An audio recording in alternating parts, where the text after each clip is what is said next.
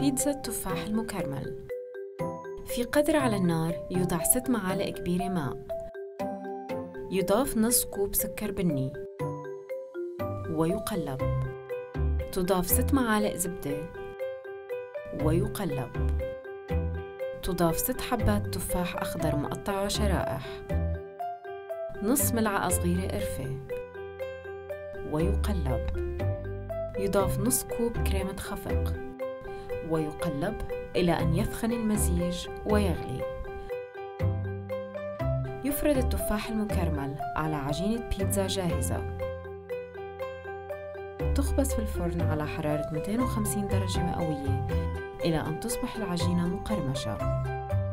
ثم ترفع البيتزا من الفرن وتقدم.